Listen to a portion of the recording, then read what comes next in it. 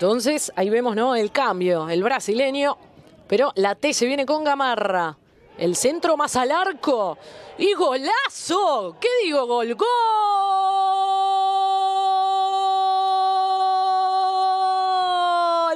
Talleres.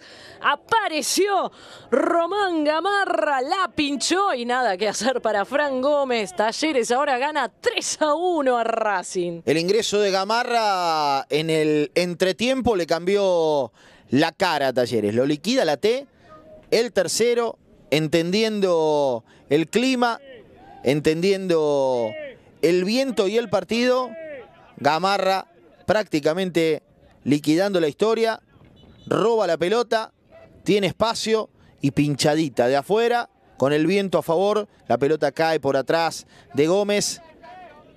Un golazo de Román Gamarra, se quedaba Meaurio reclamando una mano de Gamarra, nada que hacer para Gómez.